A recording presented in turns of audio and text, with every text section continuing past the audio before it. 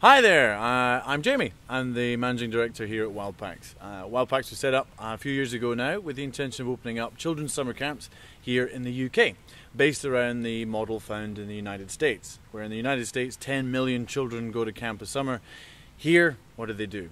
But starting up a summer camp from scratch here is difficult. So, we have over the last couple of years developed a very respected staffing program and camper program. We send kids from all over Europe and the UK out to camps all across the US, depending on their unique interests and their uh, their personalities, um, along with an increasing number of quality staff. Now, when I say quality staff, we're looking for people who genuinely have the best interests of the children at heart. People who are filling out the application form because they want to work with children. Have you got to have reams of experience working with kids beforehand? No.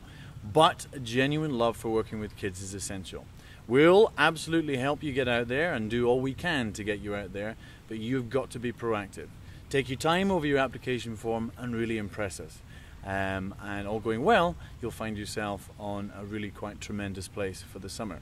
In regards to the UK, we've got a lot of fun projects going on. Uh, we're developing three sites in the UK, and although we're not recruiting for them, we'll certainly keep you posted. So if you're ever interested about what we're doing, please check out the rest of the website or give us a call in the office. We'd love to speak to you. Thank you.